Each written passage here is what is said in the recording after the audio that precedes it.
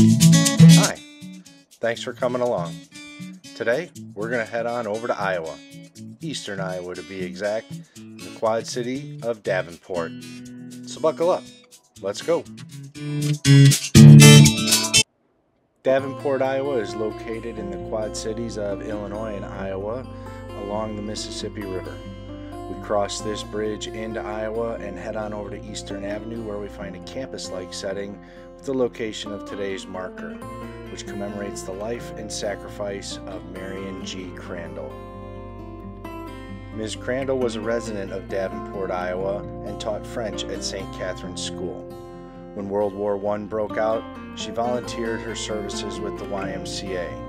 YMCA was an organization that aided soldiers by providing home cooked meals and providing reading materials to weary troops.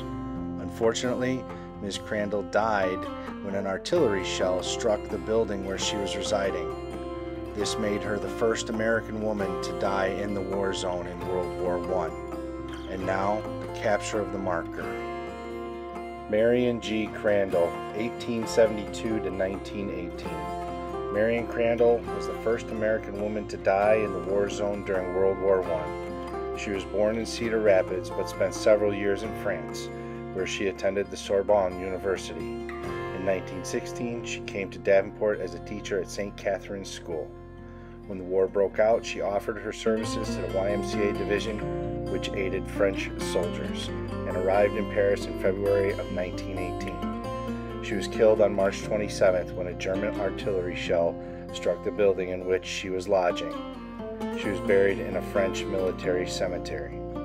Erected by the Iowa State Historical Department, Division of the State Historical Society, and by Hannah Caldwell Chapter, Daughters of the American Revolution, 1979.